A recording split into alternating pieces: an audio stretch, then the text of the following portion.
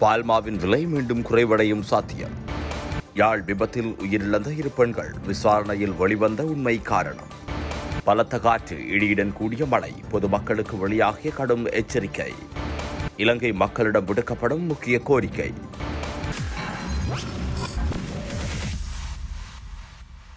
இறக்குமதி செய்யப்படும் பால்மாவின் விலை குறைவதற்கான சாத்தியக்கூறுகள் உள்ளதாக பால்மா இறக்குமதியாளர் சங்கம் தெரிவித்துள்ளது.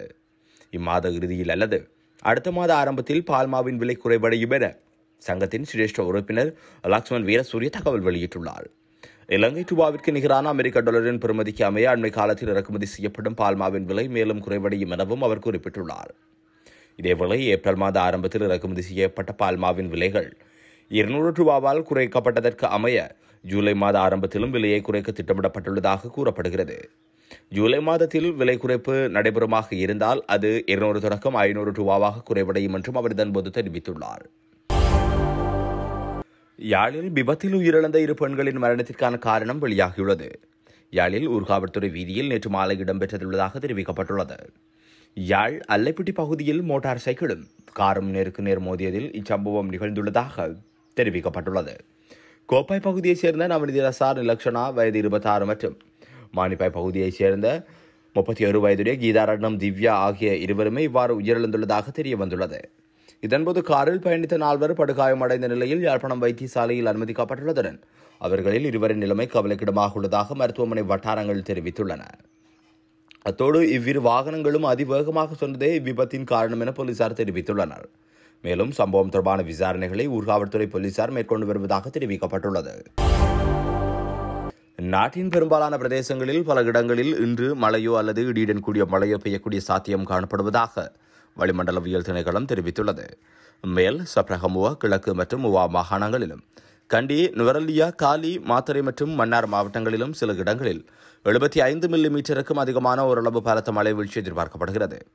மேலும் மேல் மற்றும் தென் மாகாணங்களிலும் யாழ்ப்பாணம் மற்றும் மன்னார் மாவட்டங்களிலும் கரையோர பிரதேசங்களில் காலை வேளையிலும் சிறிதளவில் மழை பெய்யும் என எதிர்பார்க்கப்படுகிறது. அதேவேளை இடியுடன் கூடிய மழை பெய்யும் வேளைகளில் பிரதேசங்களில் தற்காலிகமாக பலத்த காற்று வீசக்கூடும். மின்னல் தாக்கங்களினால் ஏற்படக்கூடிய பாதிப்புகளை குறைத்துக் கொள்ள தேவையான முன்னெச்சரிக்கை நடவடிக்கைகளை எடுத்துக்கொள்ளுமாறு பொதுமக்களுக்கு அறிவிக்கப்பட்டுள்ளது. வெசாக் வாரத்தில் மக்களுடன் அதிகமாக வெளியே நடமாடுவதால் முகக்கவசம் அணிவது சிறந்தது என சுகாதார சபைகள் பணிப்பாளர் வைத்தியர் அசேல குணவர்த்தன தெரிவித்துள்ளார்.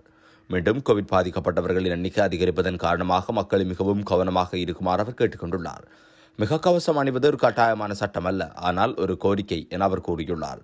சுகாதார பழக்க வழக்கங்களை அனைவரும் பின்பற்றுவது அவசியம் என அவர் மேலும் தெரிவித்துள்ளார். இதேவேளை நேற்று முன்தினம் புதிதாக ஏழு கோவிட் தொற்றாளர்கள் நாடளாவிய ரீதியில் இடம் காணப்பட்டுள்ளனர். அங்கோட ஐடிஎச்சில் இரண்டு கோவிட் மரணங்கள் பதிவாகியுள்ளன. யட்டியாந்தொட்டையில் வசிக்கும் ஐம்பத்தி ஆறு வயதுடைய பெண்ணொருவரும் மாத்தரையில் வசிக்கும் எழுபத்தி மூன்று வயதுடைய ஆணும் கோவிட் நோயால் உயிரிழந்துள்ளதாகவும் தெரிவிக்கப்பட்டுள்ளது.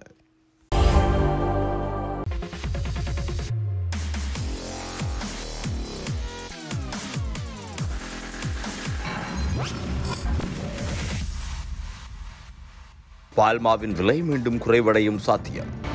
யாழ் விபத்தில் உயிரிழந்த இரு பெண்கள் விசாரணையில் வெளிவந்த உண்மை காரணம். பலத்த காற்று இடியுடன் கூடிய மழை பொதுமக்களுக்கு வெளியாகிய கடும் எச்சரிக்கை. இலங்கை மக்களிடம் விடுக்கப்படும் முக்கிய கோரிக்கை.